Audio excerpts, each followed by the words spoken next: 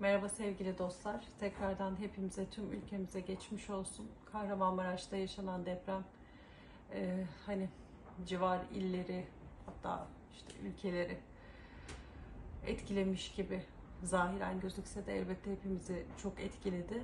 Ve bu tarz afetlerden sonra yaşanan e, hepimizin içini paramparça eden dram görüntüleri sosyal medya aracılığıyla da fazlaca paylaşılıyor biliyorsunuz.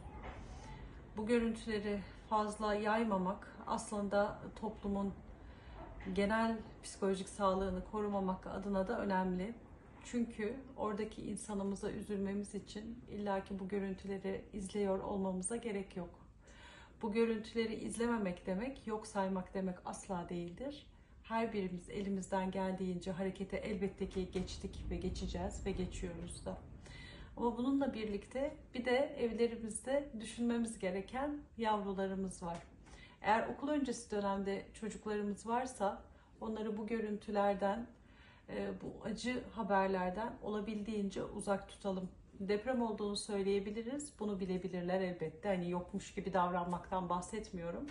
Fakat biz yetişkinleri bile çok etkileyen görüntüleri e, çocuklarımıza izletmeyelim. Onları buna maruz bırakmayalım. Onların dünyalarındaki etkisi bizimki gibi değil. Çok daha travmatik olabiliyor. 12 yaşından büyük çocuklarımızla